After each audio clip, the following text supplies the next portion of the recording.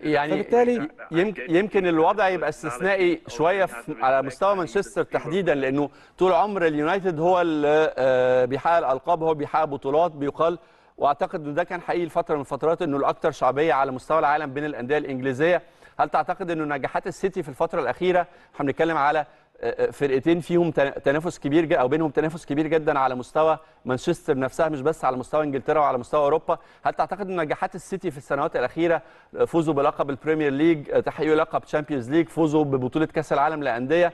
هل ده سحب البساط؟ هل ده زود من شعبية السيتي شوية على حساب اليونايتد؟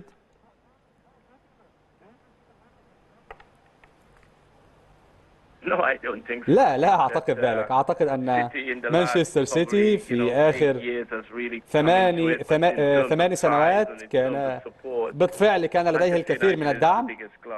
هو واحد من أكبر الأندية في إنجلترا بلا شك. ولديهم تاريخهم الخاص. أعتقد ان أعتقد أنهم لديهم فريق ناجح الآن. أنا أتفق مع ذلك. ولكن على مستوى الشعبية في خلال في البريمير ليج فمانشستر يونايتد هو الأبرز. مانشستر يونايتد لديه اللحظات الأروع في تاريخ إنجلترا. أعتقد أن التاريخ يشهد لنا بذلك.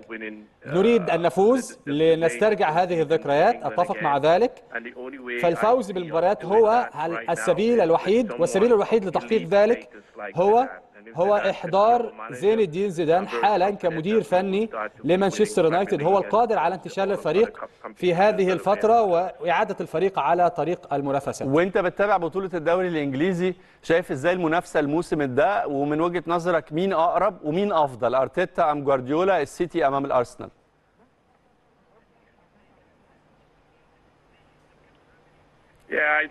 أعتقد أن أرسنال الآن يؤدي بشكل جيد. وينافس مع مانشستر سيتي وأظهر منافسة قوية بجانب مانشستر ولكن مانشستر سيتي له السيادة مانشستر سيتي يعرف كيف يفوز. يعرف كيف يفوز بالمباريات ويعرف كيف يفوز بالبريمير ليج